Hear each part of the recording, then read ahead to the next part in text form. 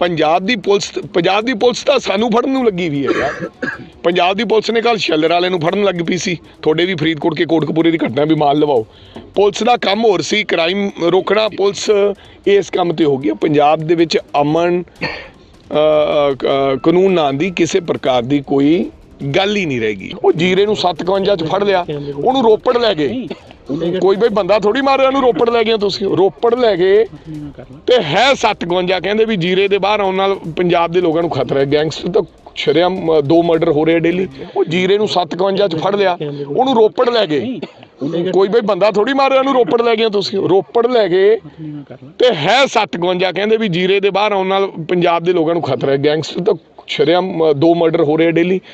ਸੋ ਮੇਰਾ ਖਿਆਲ, ਪੰਜਾਬ ਦੇ ਲੋਕ ਇਹ ਜਾਣ ਚੁੱਕੇ ਆ, ਜਿਹੜੀ ਬਦਲਾਵ ਦੀ ਸਰਕਾਰ ਆਉਣੀ ਸੀ ਆ ਮੰਡੀਆਂ 'ਚ ਕਿਸਾਨ ਰੋਲ ਰਿਹਾ ਹੈ ਇਸ ਮੁੱਦੇ ਤੇ ਕੋਈ ਬਹਿਸ ਨਹੀਂ। ਹੈ ਅਸੀਂ ਕਹਿਣਾ ਕਹਿਣਾ ਚਾਹੁੰਦੇ ਸੀ ਵੀ ਦੋ ਦਿਨਾਂ 'ਚ ਕਾਹਦੀ ਬਹਿਸ ਕਰੋਗੇ ਬਈ?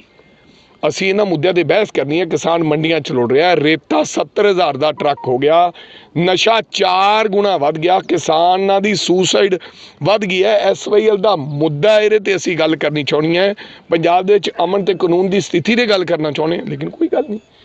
ਸੋ ਅੱਜ ਮੈਂ ਕੋਟਕਪੂਰੇ ਦੀ ਮੰਡੀ 'ਚ ਆਇਆ ਬਹੁਤ ਮਾੜਾ ਹਾਲ ਹੈ ਔਰ ਮੈਂ ਚਾਹਾਂਗਾ ਕਿ ਪੰਜਾਬ ਸਰਕਾਰ ਆ ਜਿਹੜੀ 2-2 ਕਿਲੋ ਦੀ ਸ਼ਾਰਟੇਜ ਗਰੀਬਾਂ ਨੂੰ ਜਾਂ ਮਜ਼ਦੂਰਾਂ ਨੂੰ ਜਾਂ ਦੁਕਾਨਾਂ ਵਾਲਿਆਂ ਨੂੰ ਪੈਣੀ ਹੈ ਇਹ ਸਰਕਾਰ ਦੇ ਜੁਮੇ ਹੋਣੀ ਚਾਹੀਦੀ ਹੈ ਸਰਕਾਰ ਭਰੇ ਤੇ ਨਹੀਂ ਐਵੇਂ ਹੀ ਉਹਨਾਂ ਦਾ ਮਾਲ ਛਕਾਵੇ ਕਿਉਂਕਿ ਉਹਨਾਂ ਦੇ ਕਰਕੇ ਇਹ ਹੋਇਆ।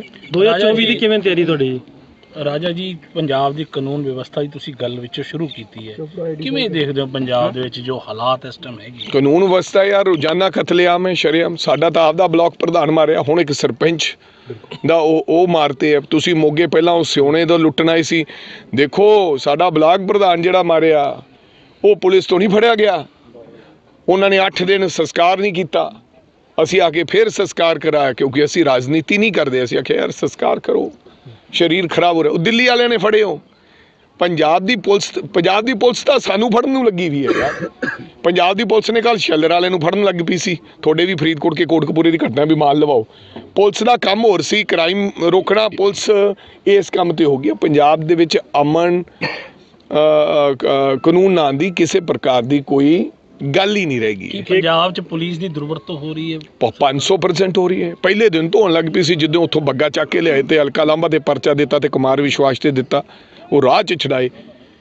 100% ਆਪਦਾ ਸੈਟਲਮੈਂਟ ਸਕੋਰ ਕਰਨ ਦੇ ਮਾਰੇ 100% ਦੁਰਵਰਤੋਂ ਹੋ ਰਹੀ ਹੈ। ਔਰ ਹੁਣ ਹੁਣ ਹੌਲੀ ਹੌਲੀ ਮਾਨਯੋਗ ਅਦਾਲਤਾਂ ਨੂੰ ਵੀ ਪਤਾ ਲੱਗਣ ਲੱਗ ਪਿਆ।